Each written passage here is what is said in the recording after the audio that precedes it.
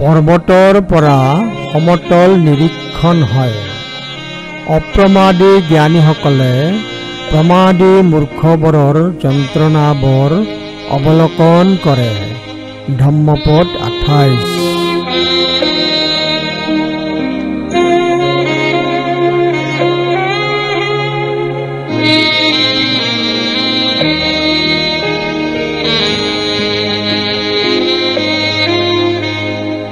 সমতল এৰি পৰ্বতৰ টিঙত স্থিত হ'ব পাৰিলে তলত থকা লোকসকলক দৰ্শন কৰিব পাৰি। শৃংগৰ পৰা তলফালে সহজতে চাব পাৰি। তলৰ বস্তুবোৰ সহজে চিনিব পাৰি। সেইদৰে বিজ্ঞজনে প্ৰমাদ ত্যাগ কৰি প্ৰজ্ঞাৰূপ প্ৰাসাদ আহৰণ কৰি অপ্ৰমাদীৰ শিখৰত স্থিত হয়।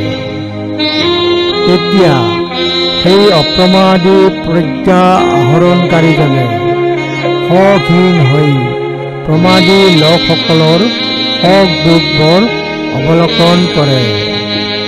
শৃংগত স্থিতজনক সমতলৰ ঘাঁহ বনে চুব নোৱাৰে।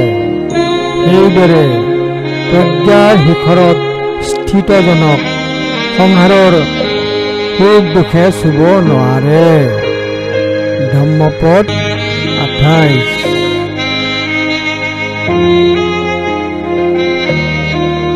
প্ৰমাদং অপমাদেন সন্নিহিত পঞ্জা প্ৰসাদমাৰোহয়